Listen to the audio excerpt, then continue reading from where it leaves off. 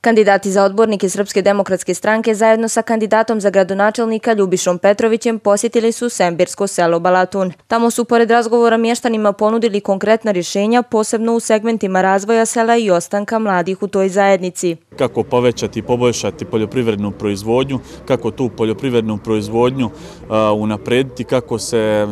zajedno sa poljoprivrednim posticajima ih ravnomjerno i domaćinski raspodijeliti i kako poboljšati postojeću infrastrukturu u selu, a sve to zarad da bi i mještani Balatuna i svih ostalih sela na području grada Bijeljina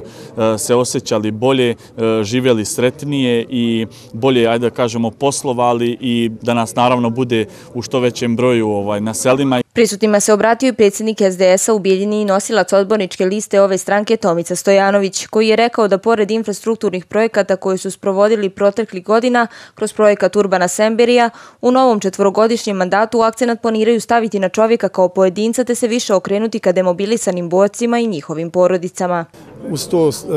naš akcenat će biti na mladim ljudima, na djeci, na obrazovanju, na e, učenicima gdje djeci od trećeg do petog razreda e, želimo obezbediti besplatne učbenike i to je nešto što ćemo sigurno učiniti u narednom periodu i pored toga znači sve neke